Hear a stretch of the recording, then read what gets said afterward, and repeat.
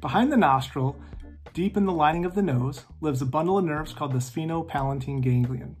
This ganglion coordinates pain to the surface of the brain, as well as coordinate pain behind the eyeballs and into the temples. It also regulates blood vessel dilation and constriction to the surface of the brain and into the face.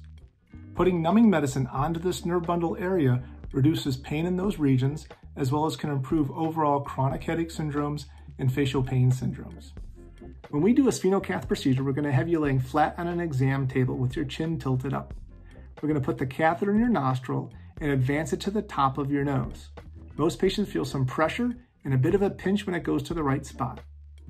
Once we have it where we need it to be, we're gonna put a quarter teaspoon of numbing medicine to the back of your nasal cavity. Now this is gonna taste bitter and nasty, and it's gonna make your throat feel numb and tingly.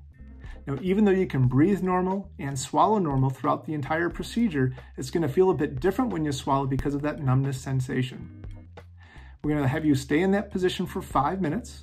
During that time, you might feel your cheek warmth increase, and you might also notice some tearing out of the corner of your eye. Those are all normal signs the medicine's doing what it's supposed to do. After five minutes of laying in this position, we sit you up, and away you go.